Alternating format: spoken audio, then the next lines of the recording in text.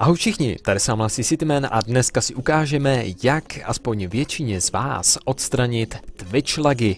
Ano, přesně tak. Určitě to velmi dobře znáte. Občas se stane, že po několika sekundách vám vyskakuje loading screen a vy z livestreamu máte prakticky nic. Je samozřejmě několik důvodů, které vás takto omezují. A jeden z nich je také to, že dotyčný livestreamer není partnerem Twitche a tudíž jeho kvalitu si nemůžete přepnout. Bohužel v tomto tutoriálu si neukážeme, jak danou kvalitu přepnout u livestreamera, který není partnerem Twitche, nicméně se podíváme na to, jak přehrát livestream pomocí VLC, ve kterém by pravděpodobně mělo docházet k lagům co nejméně. Nejdříve si tedy nainstalujeme VLC Media Player. Pokud ho neznáte nebo nemáte, tak odkaz vám vložím do popisu tohoto videa.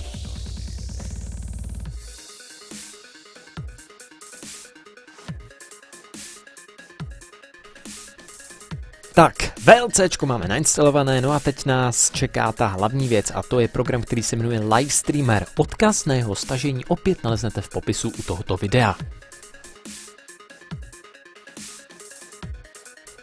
Pokud i tento program máme nainstalovaný, můžeme překročit k dalšímu hlavnímu kroku a to je jak si spustit daný livestream. Do řádky spustit ve Windows napíšeme livestreamer mezera odkaz na livestream mezera kvalita.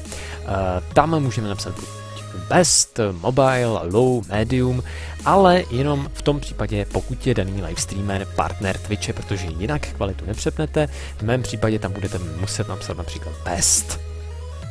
Potvrdíme Entrem a tada! Livestream se nám otevřel ve VLC Media Player v aktuální chvíli v kvalitě medium. Jediný háček, který to má, je, že si chat budete muset otevřít samostatně v jiném okně. Nicméně i přesto doufám, že se vám tento tutoriál líbil a že vám aspoň trošičku pomůže. Budu se na vás těšit zase příště u nějakého dalšího livestreamu nebo videa. A zatím nezapomeňte, budujte!